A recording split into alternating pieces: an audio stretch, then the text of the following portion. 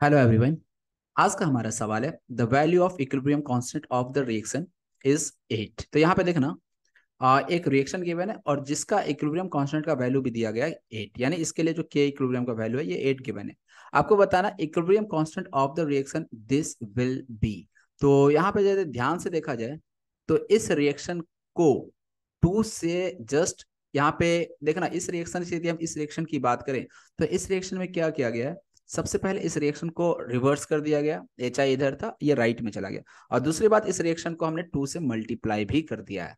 तो जब हम ऐसा करेंगे तो के इक्विलिब्रियम पे क्या इफ़ेक्ट पड़ेगा हमें यही चीज़ बताना है। तो देखना आ, जो हमें रिएक्शन चाहिए सबसे पहले इस रिएक्शन को मैंने रिवर्स किया। एक काम करता हूँ मैं सबसे पहले रिएक्शन को लिख लेता हूँ half H two gas plus half I two gas इस रिएक्शन को जब पहले मैं रिवर्स करूँगा जब रिवर्स करूँगा तो हाफ़ एच टू इधर आ गया प्लस हाफ़ ओ टू इधर आ गया। और ये आपका एच आई राइट साइड में चला जाएगा। यदि हम रिएक्शन को रिवर्स करते हैं तो के इक्विलिब्रियम आपका वन बाय के हो जाता है। और यहाँ के इक्विलिब्रियम का वैल्यू एट है तो यहाँ वन बाय एट हो जाएगा। फर्दर हमें एच टू का भी वन मोल चाहिए आई टू का भी वन मोल चाहिए। मतलब हमें इसे में टू से मल्टीप्लाई करना पड़ेगा। जब इस रिएक्शन में टू से मल्टीप्लाई करेंगे तो आपको मिल जाएगा H two plus I two gives two H I और जब रिएक्शन में टू से मल्टीप्लाई करते हैं तो ऐसे में इक्विलिब्रियम कांस्टेंट जो के होता है, उसमें ये चीज़ पावर में चला जाता है।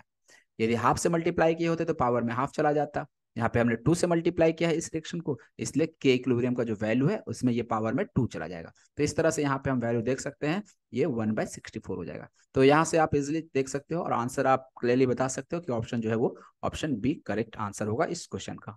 तो सिंपल सा क्वेश्चन था। Hope you understand this question thank you for watching video